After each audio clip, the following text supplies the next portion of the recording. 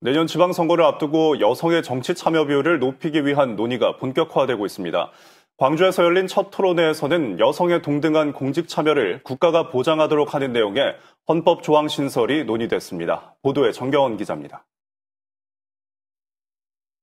지난 2014년 지방선거에서 여성 기초단체장은 불과 4%, 그나마 여성 광역단체장은 한 명도 나오지 않았습니다. 기초의회는 여성 비율이 25%까지 늘긴 했지만 광역의회는 14%에 불과합니다. 특히 지난해 총선의 경우 정당 공천에서부터 여성 후보의 비율이 턱없이 낮았습니다. 각 정당이 공천한 지역구 여성 후보는 평균 9%.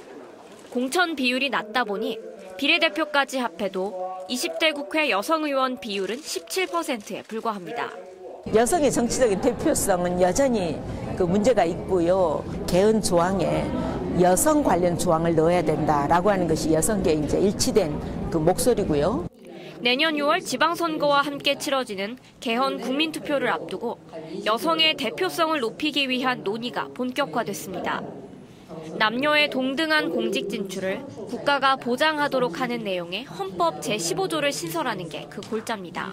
남녀 동수는 지금 되돌릴 수 없는 사실 트렌드 인 거죠. 어, 형식적 평등을 현실의 평등으로 하기 위해서 그렇게 남녀 평등이 15조 2항을 신설을 해달라. 구체적인 조항은 국민적 공감대를 더 얻어야 하는 부분입니다.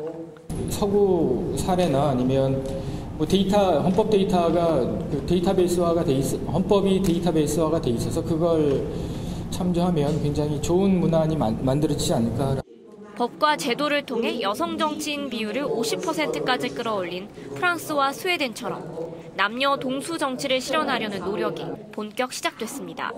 KBC 정경원입니다.